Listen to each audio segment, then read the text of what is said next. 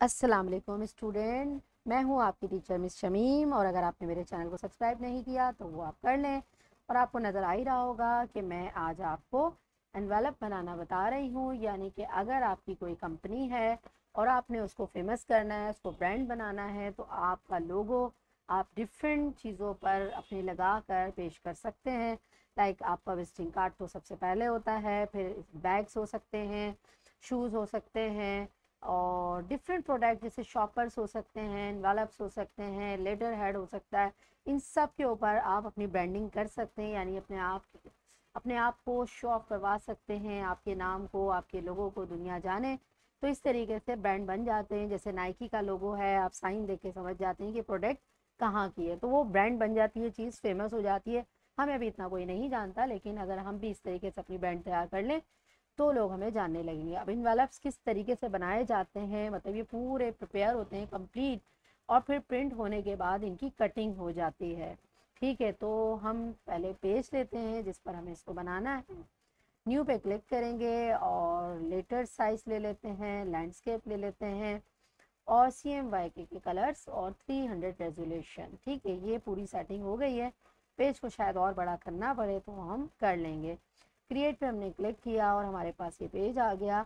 अब इन वालप का साइज़ हम ले रहे हैं, किस तरीके से रेक्टेंगल टूल पे क्लिक किया और फिर पेज पर क्लिक किया। यानी रेक्टेंगल टूल कैंसिल हमने दो नहीं किया ऐसे करके। हमने रेक्टेंगल टूल लिया है। जूम मैं कर लेती हूँ ताकि आपको नज़र भी आता रहे। रेक्टेंगल टूल लिया है और उसके बाद ये जूम को मैं बंद कर देती हूँ। पेज पर जस्ट आपको कहीं भी क्लिक करना है। प्रॉपर्टीज़ आ जाएँगी तो यहाँ हम अपने इन्वेलप का साइज़ लिखेंगे। साइज़ में जूम करके लिख देती हूँ। विद नाइन और हाइट कर देंगे हम इसकी फोर ओके okay करेंगे। इसी साइज़ का रेक्टेंगल हमें रेडी मिल जाएगा। और फिर हम उठा के भी इसको रख सकते हैं। वरना आपके पास अलाइन के ऑप्शन है। अलाइन सेंटर वर्टिकल और हॉरिजेंटली दोनों तरीक़ों से हमने इसको अलाइन रख लिया है। उसके बाद हमें एक और रेक्टेंगल ड्रॉ करना है। अगेन हमने रेक्टेंगल टूल लिया, फिर हमने पेज पर क्लिक किया और क्लिक करने के बाद विथ तो हमें नाइन ही चाहिए। लेकिन हाइट में डिफरेंस आएगा। हाइट हम ले लेते हैं वन पॉइंट टू फाइव यानी हाइट को हमने कुछ कम लिया है। और हमने ओके किया और हमारे पास ये एक और रेक्टेंगल आ गया और इसको हमने यहाँ पर फिक्स कर लिया।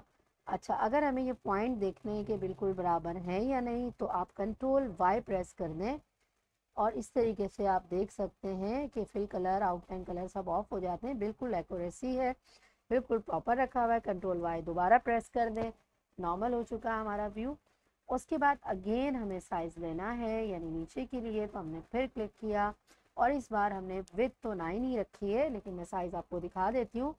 साइज़ हमने रखना है टू पॉइंट सेवन फाइव। ठीक है यकीन नोट कर लिया होगा आपने। ओके करते हैं और ओके करने के बाद इस साइज़ को हमने उठाया। और ये ग्रेड लाइंस जो हैं, ये जो नज़र आ रही हैं भी बड़ी हेल्प करती हैं हेल्पफुल होती हैं। ये हमारा साइज़ यहाँ पे फिक्स हो गया। अब हमें एक और साइज़ लेना है। अगेन हमने रेक्टेंगल पे क्लिक किया। फिर पेज पे कहीं भी रख के क्लिक कर दें, आपकी मर्ज़ी है। उसके बाद हमें विद लेनी है वन और हाइट लेनी है हमें फोर विद हमारी कितनी है? वन और हाइट फोर, यानी बिल्कुल इसके बराबर हाइट है, ओके किया। और ये रेक्टेंगल आ गया अगेन और इसको उठा के हमने यहाँ साइड पर फिक्स कर दिया। हम दोबारा भी इसको ले सकते हैं, वरना ऑल्ट के साथ इसी की कॉपी निकाल लें ऑल्ट और शिफ्ट के साथ।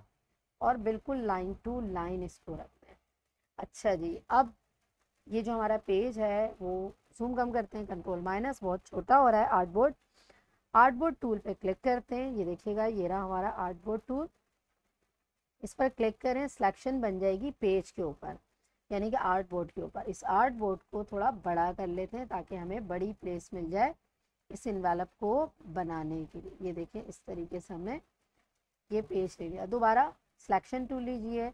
ये देखें, अब हम इसकी डिज़ाइनिंग की तरफ़ आते हैं। एनवेलप्स के भी बहुत डिज़ाइंस बहुत कलर्स होते हैं। आपकी मर्ज़ी, आप जो भी यूज़ करें। अच्छा जी, सबसे पहले मैंने डायरेक्ट सेक्शन टूल लिया और ये एक पॉइंट सेलेक्ट किया और एरो की से इसको कुछ पॉइंट्स आगे कर लिया और फिर यहाँ से ये वाला पॉइंट सेलेक्ट किया और एरो की के ज़रिए इसको आगे की तरफ़ मूव कर लिया। और उसके बाद हमने ये दोनों पॉइंट्स एक साथ सेलेक्ट किए, ये राउंडेड रेक्टेंगल की शेप बनी हुई है और इसको पकड़ के मैंने हल्का सा राउंड कर दिया। अगेन हमने पॉइंट सेलेक्ट किया और इसको ये वाला पॉइंट हमें कर्व नहीं करना है।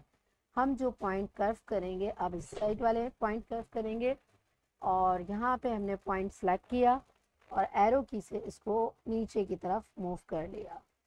अगेन हमने पॉइंट सेलेक्ट किया, यानी कि डाउन साइड का देख लें जूम करके एरो की के ज़रिए इसको ऊपर की तरफ़ मूव कर दिया। अगर हमें ये कॉर्नर्स भी, अगर हमारी डिज़ाइनिंग की डिमांड है तो हमने डायरेक्ट सिलेक्शन टूल से दोनों पॉइंट सेलेक्ट किए। क्योंकि मेरा ये जो वर्जन है 2020 है लेटेस्ट वर्जन है तो ये देखिए ये छोटे छोटे पॉइंट आपको दिख जाते हैं ये कर्व कर देते हैं। किसी भी एक पॉइंट को पकड़ें क्योंकि दोनों पॉइंट सिलेक्टेड हैं और आप इसको कर्व कर सकते हैं। और फिर हमने एक पॉइंट सेलेक्ट किया थोड़ा सा एरो की से अं, अंदर की तरफ़ मोल्ड किया फिर एक और पॉइंट सेलेक्ट किया और फिर इसको एरो की से अंदर की तरफ़ हमने इस तरीके से मोल्ड किया। दोनों पॉइंट्स को एरो यानी डायरेक्ट सेक्शन टूल के ज़रिए सेलेक्ट किया और फिर इसको भी हमने अंदर की तरफ़ कर्व कर दिया, यानी जितना कि हमें कर्व चाहिए। 5.2 इक्वल नंबर थे तो हमने इसको कर्व कर लिया। अब अगर हम यहाँ पे कोई कलर वगैरह यूज़ करना चाहते हैं, जो हमारी डिमांड है तो हम यूज़ कर सकते हैं। आउटलाइन कलर मैं देना चाहती हूँ और कौन सा कलर देना चाहते हैं, वो हमारे ऊपर है, हम कौन सा कलर यूज़ करना चाहते हैं। लाइक यहाँ से हम कोई भी फ़िलहाल कलर ले लेते हैं आउटलाइन के लिए। और ये देखें हमारे पास आउटलाइन कलर आ चुका है। अच्छा जी फिल कलर यूज़ करेंगे बाद में। पहले हमें इसके लिए टेक्स्ट चाहिए, जो कि हमने लिख कर रखा हुआ है बराबर वाले पेज पर। ये वाला बना हुआ है और ये हमारा टैक्स है। कंपनी का नाम, आपकी ब्रांड का नाम, आप लिख कर रख लें। वो आपके पास पहले से होगा। अगर आपने विजिटिंग कार्ड बनाया हुआ है, उसके ऊपर से आप उठा सकते हैं। तो मैंने यहाँ से इसको मूव किया क्योंकि मैंने लिख कर रखा हुआ है और इसको यहाँ पर शिफ्ट के साथ दोनों को सिलेक्ट कर लिया और फिर नीचे वाली शेप पर एक दफ़ा और क्लिक कर लिया। यानी इसके मुताबिक ये इसको बिल्कुल सेंटर अलाइन कर देगा। वो वाली शेप अपनी जगह से नहीं हिलेगी। अब थोड़ा सा ऊपर मूव करना है क्योंकि है तो बिल्कुल सेंटर में। आप एरो के ज़रिए हम इसको अपनी मर्ज़ी के मुताबिक जितना ऊपर की तरफ़ यूज़ करना चाहें आप यूज़ कर सकते हैं।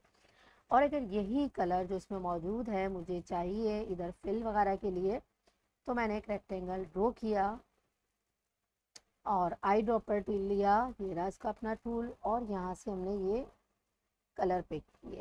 यानी कि कलर ये हमने यहाँ से पिक कर लिए और ये कलर हमारे पास आ चुके हैं। ठीक है सेम कलर अब अगर यही कलर मुझे यहाँ पर फिल करने हैं तो आउटलाइन को फिल में ले लें इस तरीके से कलर हमारे पास मौजूद है और ये देखिए कलर हमारे पास आ चुके हैं। उसके बाद हम इस पर मज़ीद डिज़ाइनिंग करना चाहते हैं, यानी कि जैसे आप यहाँ देख रहे थे टैक्स को भी उठा लेंगे तो पहले टैक्स उठा के ले आते हैं बराबर से, या पहले कलर ले लें। तो हमने रेक्टेंगल लिया अगेन लिख कर साइज़ ले लें, या आप उसी की कॉपी बना लें, और फिर ये कलर के साथ हमने रख लिया। फ़ॉन्ट उठाते हैं, जो हमने लिख के रखा हुआ है। फ़ॉन्ट में आपको क्या क्या चाहिए, वो मैं आपको बता देती हूँ। ये आप देख लें यहाँ पर, क्योंकि आपको सही दिख नहीं रहा होगा, मैं जूम बढ़ा के दिखाती हूँ, ये देखिएगा। फ़ॉन्ट हमारा, कि हमने क्या लिखा है, यानी एड्रेस मौजूद है पूरा, ठीक है, उसके बाद ये कंप्लीट एड्रेस है फ़ोन नंबर्स हैं फ़ोन नंबर्स के लिए आइकन्स का इस्तेमाल भी आप कर सकते हैं। और बिल्कुल साइड्स पे करके थोड़ा सा, बिल्कुल बीच में, थोड़ा सा आगे, बिल्कुल मार्जिन एरिया से थोड़ा सा हटा के रखें।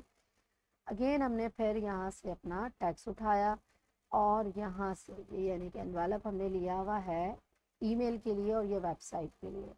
कि जो वेबसाइट के लिए लिया है, इन दोनों को उठा के ले जाते हैं और यहाँ लाकर हमने इस तरीके से छोड़ दिया। सेम कलर है, नज़र नहीं आ रहा।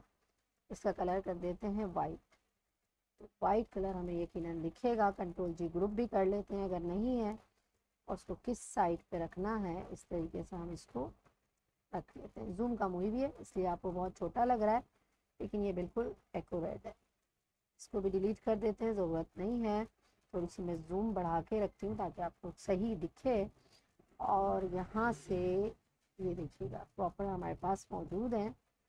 और हम जा रहे हैं दोबारा अगेन अपने फ़ोन पर। ये हमारा फ़ॉन्ट है, इसको सेलेक्ट किया कंट्रोल जी ग्रुप कर लें और इसको भी उठा कर आप इन्वेलप्स के पास ले जाइए और यहाँ ला के छोड़ दें। ठीक है, इसको इसके ऊपर रखते हैं।